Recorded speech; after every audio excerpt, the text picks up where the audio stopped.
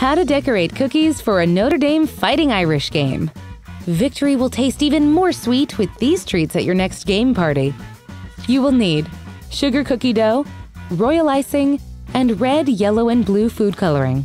Equipment a rolling pin, a Notre Dame logo cookie cutter, an offset spatula, a pastry bag, and pastry tips. Step 1.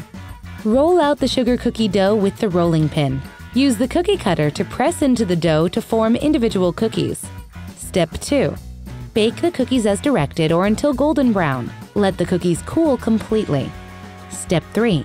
Divide the icing, adding a drop or two of red to about 10 drops of yellow to make one quarter of the frosting gold. Color the rest of the icing blue. If you can't find dark blue liquid food coloring, try paste food colorings from a bakery supply or cake decorating shop. Step 4.